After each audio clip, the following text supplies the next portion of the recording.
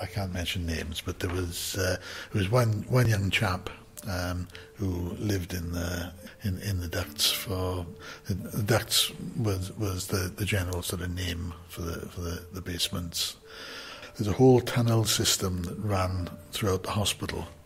Um, went went under most of the most of the ground floor boards, and there's one young gentleman who, who, who lived in the ducts for for a couple of months.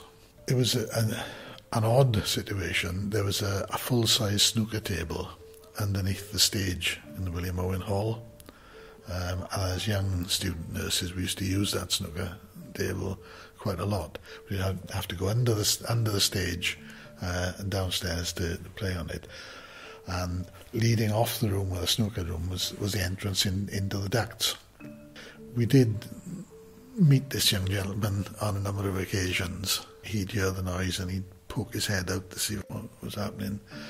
And he, he and, and another chap who was a patient here had almost like a little bedding area in, in the ducts.